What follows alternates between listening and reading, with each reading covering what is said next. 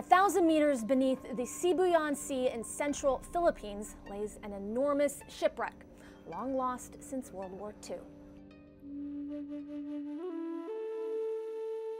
In an astonishing discovery, Microsoft co founder and philanthropist Paul Allen posted photos to Twitter, believed to be one of Japan's biggest warship, Musashi, once the largest ship in their fleet. After a fierce battle with the U.S. Navy in 1944, the Musashi sunk to the bottom of the ocean, taking with it over a thousand crew members on board. At the time of its construction, this was the largest warship ever made, displacing 69,000 tons.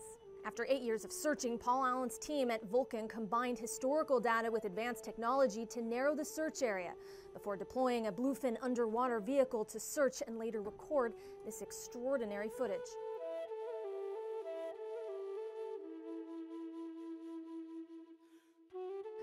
The discovery was made on board Allen's own enormous 413 foot long super yacht, costing $200 million in 2003.